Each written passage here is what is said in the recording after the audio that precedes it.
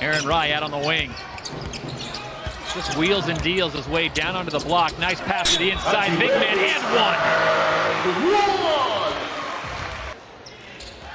So that three from Taylor pushes it to 14-8.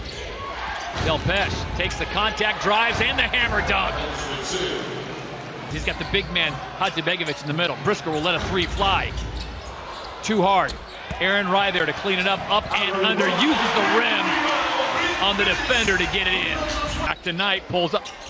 Can't get it to fall. Hadzibegovic keeps it alive and knocks it into the hands of Michael Brisker, who gives it up to Aaron Rye. Rye crosses over, dumps it off. Beautiful pass and a flush from Hadzibegovic. He wanted all of that.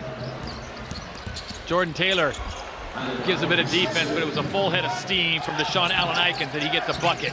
15-point lead for the London Lions, looking to hold that lead into the half. Okoro drives, hangs, gets it to fall with four seconds left. Jordan Taylor's got it.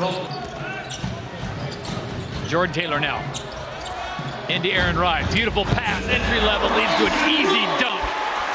James Delaire with a throwdown. Here comes Okoro.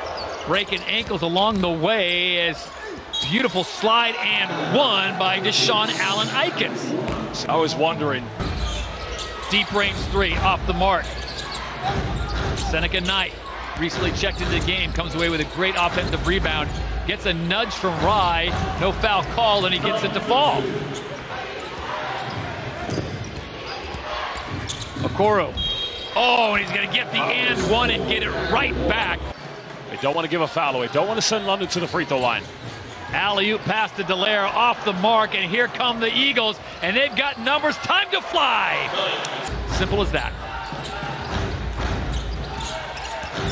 Aaron on 24 points, kind of quiet in that third period. Comes back here in the fourth period and goes to work.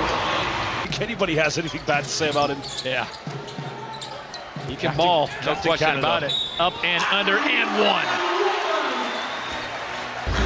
Riot just gets manhandled every time he gets the ball. Hadzibegovic loses it into Rye's hands.